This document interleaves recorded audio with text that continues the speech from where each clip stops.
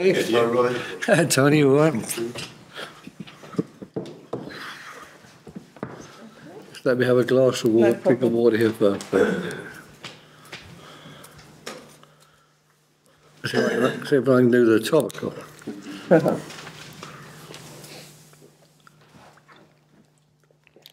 Okay, Yeah, okay. Excellent. We'll start with uh, Pete from Sky Sports News, please. Hi, Great to see you back on the training pitch. It's very kind of you, thank you you. feeling? I'm feeling good, thank you, feeling good. Excellent. But how was that experience watching remotely last weekend? Not good, and in fact, we couldn't get the the link was sent to us, or the uh, young physiotherapist who, who was sort of accompanying me was keeping me company.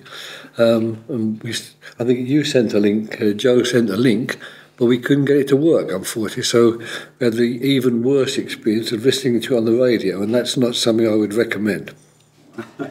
So, having watched it back now, what, should, what do you make of it? And uh, the three late the goals as well. Well, our take on it's very simple. I think we played well. I think, I think we certainly deserved to get a point from the game, and we were unhappy with the penalty decision. So, I mean, that's basically our take on it. But certainly, the performance, in my opinion, watching it back was was good. I thought it was. Listening to the radio, I got quite good vibes. And when I spoke to Ray Lewington, who came and uh, to the hospital directly afterwards, you know, he said he was very satisfied and pleased with the performance. So I was expecting it to be quite good watching it back, but in, fact, in fact, if anything, it was better than I even could have expected. So, does that make it even more frustrating, those late goals, and also that VAR decision at the end? Yeah, of course, it makes it frustrating, but that's part of football, and you see it every week. I mean, watching the games as one does, albeit often only the highlights.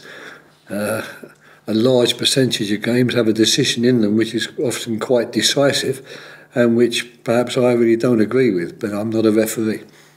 Okay, looking forward to tomorrow in terms of team news. Jordan Ayew obviously went off early on in that game. How's he feeling? No, he's fine. It was a it was a nasty blow he took, which gave him a dead leg, but he's recovered well from that and trained yesterday. And of course, we we've recovered Marc Guehi, luckily as well, who picked up a bit of an injury playing for playing for England, um, but that's recovered as well during the course of the week. And so the players we have out are long term, I suppose, or continually long term, are Olise and Franca. And a shorter term, we have Lerma, Tomkins, and unfortunately Ahamada, because he sprained his ankle on, on Tuesday. A, a freak one, again, no one near him at the time, just stretched to control a ball and caught his foot in the turf and it sprained his ankle. So those three are not serious injuries, but they're going to keep players out for a period of time. Okay, it sounded like Olise might have had a serious setback, though. Is that right?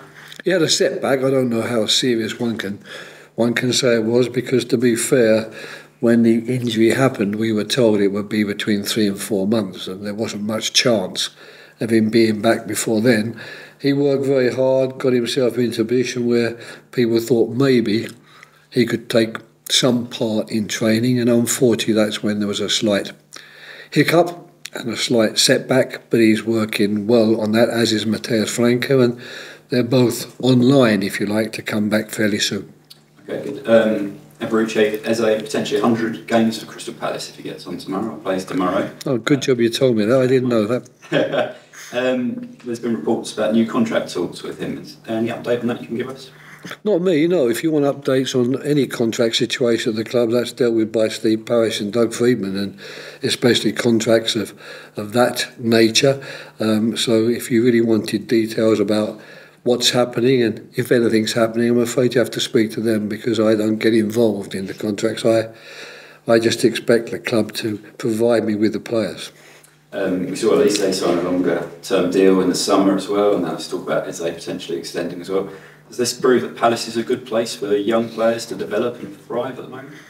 Well, I'd like to think that. I think we, I think the squad we have now is is a good one. It's certainly a lot stronger than maybe squads we've we've had in the past, and in particular, it's a lot younger and a lot more athletic than perhaps certain teams that we've had in the past. So I think the club's got to be very happy with the way they've moved things forward and and changed to some extent the um, the way the team looks, and I think at the moment it is a good place for young players to develop because we we play, in my opinion, good football. And of course, if you're a young player at Crystal Palace, you've got more chance of keeping the place or getting into the team than maybe you would have if you're one of the more established clubs playing European football where the squad is so much bigger than the squad we carry. You have a striker up front in form at the moment, Odsonne Edouard, four and five. Did you see signs in the summer that he was going to hit the ground running like this?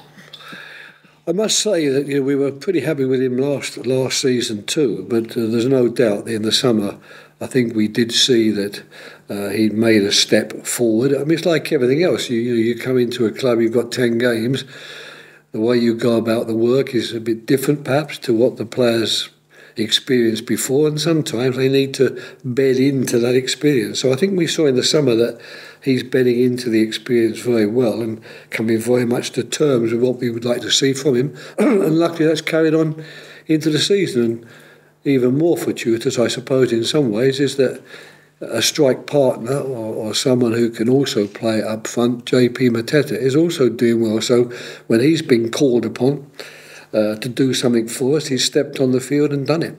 Excellent. And Fulham tomorrow, what's the challenge they're going to bring to you? But they're a good team. I also think they're a good club, of course, but they, they're also a very good team. And uh, Marco Silva's done a, an outstanding good job. I think they have everything you want, really, from a, a Premiership team. They're organised, they've got quality players, they, they work very hard, and they know what they're doing. They've played together for a while, so their um, habits, if you like, are well ingrained. So I don't think any team is going to come up against Fulham and have anything other than a, a tough challenge, but it's up to us to, to face that challenge and it's up to us to produce good enough football to overcome them. Okay, good luck. Thank you very much. Thank you, Roger. Hi, Roy. Roger. Good to see you back. Um, just expanding on talking about Fulham, there obviously your focus is Crystal Palace now, but I presume there's still affections for a for a former club, and and it seems as if you have uh, quite a warm relationship with Marco Silva. He spoke very kindly about you yesterday. Do you look at the club now and think it's in it's in the hands of a really good custodian right now? I do. I do. I, I mean, of course, uh, I'm a, a good friend of Alistair Mackintosh's, who's done a really good job there since he came in really pretty much around the same time as I did as chief executive. He's done a fantastic job. I know some of the coaching staff, the goalkeeper coach Vic Bettinelli, an outstandingly good good guy. I don't know so well the people that Marco's brought with him. But there's no doubt that since he came into the club, he's approached it in absolutely the right way. He's understood the club, I think. He's understood where they are and what they're capable of doing and where they can go to. And he's done it within the confines, if you like, of the type of budget that clubs like Crystal Palace and Fulham have to work in. So full of praise for what he's done, full of praise for the, the club. Um, I'm always happy to see them win as long as I'm not managing the team on the other side. You, you bracketed them in together there in terms of working with the confines, Crystal Palace and, and Fulham. When you look at the league table, same amount of points, identical records almost. You, even at this early stage of the season, are you looking at them as direct rivals in terms of being where, where you want to be? Well, it's a good question, but I don't know I'm looking at anybody in terms of rivalry at this moment in time. I think with five games gone, and we have still at least two or possibly three or even four players who I think might impact our team when they get fit again. I think it'd be a bit foolish to start concerning myself too much at this stage whether we're one place in front of them or one place behind.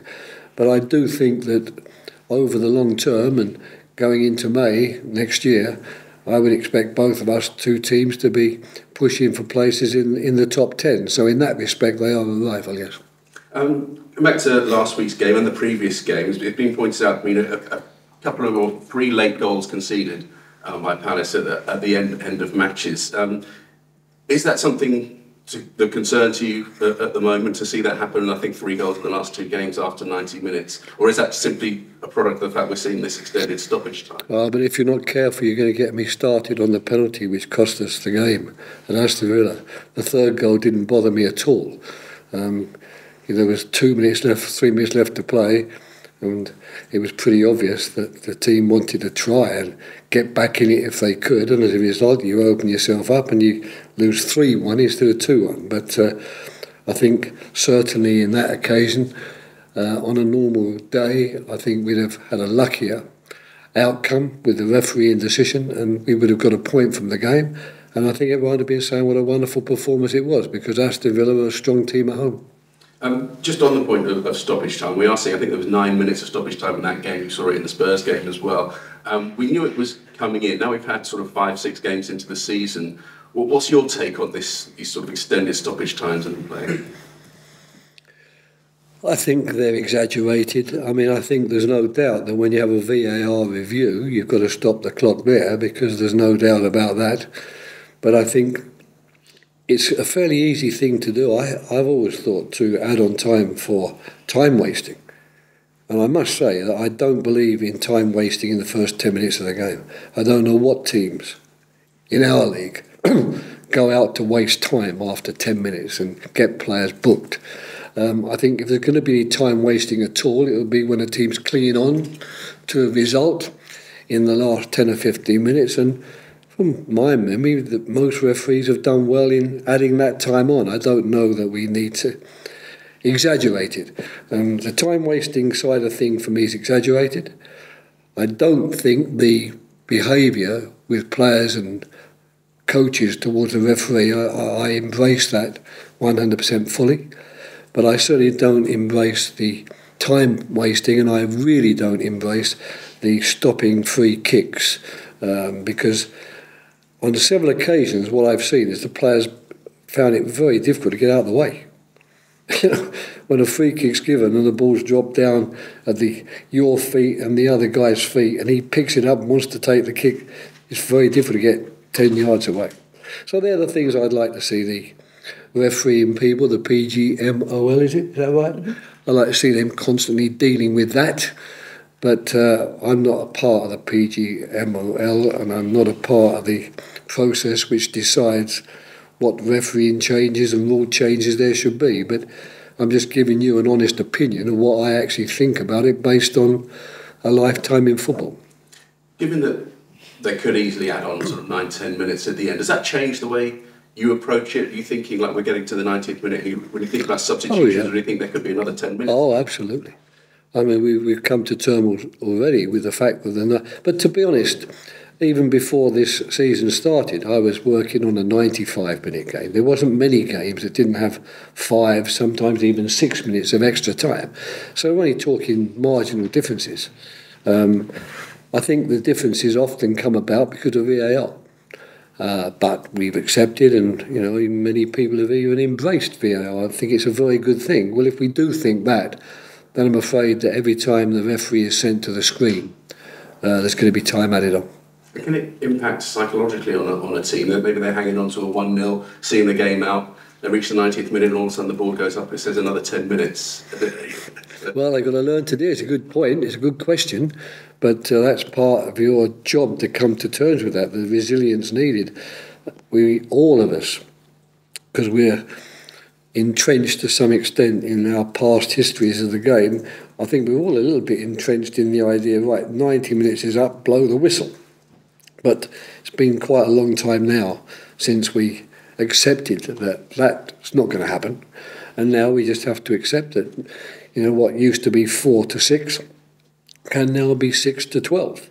And, you know, you've got to find the way to make certain you deal with that. And from a substitute point of view, of course, that too, when you're putting a substitute on, you're not maybe putting him on for 20 minutes, you might be putting him on for 30, 35 minutes. That's great. Thank you. Pleasure. Thank you. Thanks, Roger. That's the end of the broadcast section. Thanks, guys.